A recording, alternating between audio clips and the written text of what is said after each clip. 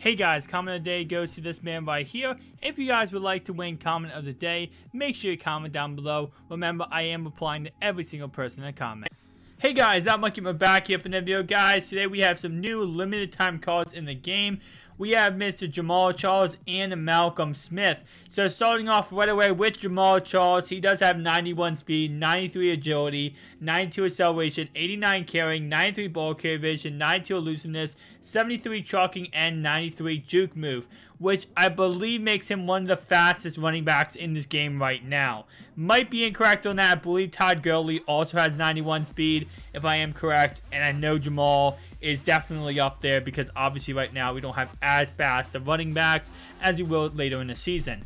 Next guy we have here is going to be Malcolm Smith. So these two players I'm assuming will be very, very high up there in price because of the fact of the speed. Obviously, speed makes every player a lot more expensive than, you know, if they don't have uh, that good speed.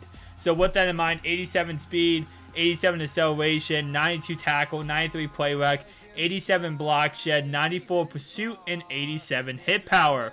Going to be interesting game tonight. I believe the Raiders lose a 2 and 5, correct?